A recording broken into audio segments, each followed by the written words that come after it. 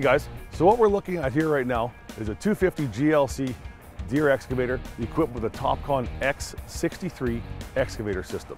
What the X63 excavator system is over conventional GPS and machine control, this is actually an indicate system only, where we do not overtake the hydraulic system.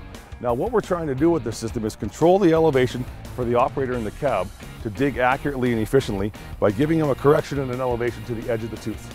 This allows for accuracy and improved efficiency on the job site.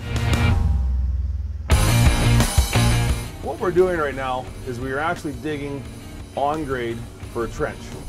On the screen, we have the ability to have an alignment which keeps me running straight and not necessarily outside the boundary where we do not want to be over excavating.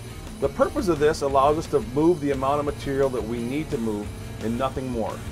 This allows us to actually increase efficiency by simply not over excavating. Now, the one thing about this machine is it is equipped right now with the standard four sensor system. We do have the ability on the system to add a fifth sensor to the bucket if need be, if we need to go into ditching applications.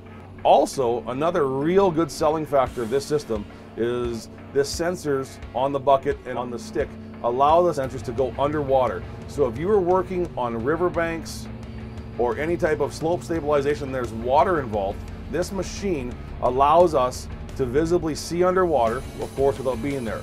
And that is due to the sensors and the GPS antennas on the back, which provides premier accuracy for pennies on the dollar.